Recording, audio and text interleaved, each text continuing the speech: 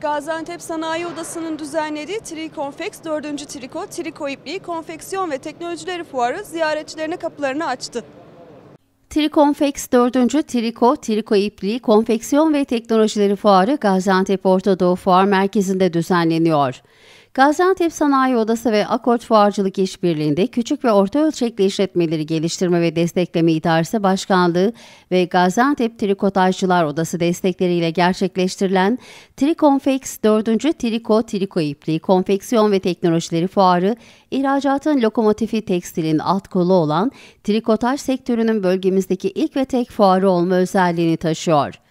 Ülke ekonomisinin lokomotif kentlerinden olan Gaziantep'in triko sektöründe de önemli bir konumda olduğunu, ancak sektörün eskiden olduğu gibi canlandırılması gerektiğini ifade eden GSO Yönetim Kurulu Başkanı Adnan Ünverdi, Trikonfex 4. Triko Triko İpliği Konfeksiyon ve Teknolojileri Fuarı'nın bu anlamda sektör ve firmalar için kritik önem taşıdığını söyledi.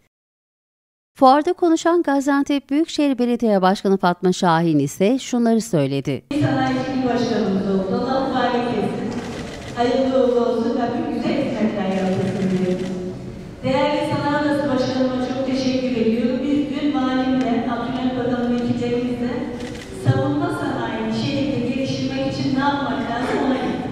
Fatma Şahin'in ardından kürsüye çıkan Gaziantep Valisi Kemal Çebel ise şu şekilde konuştu.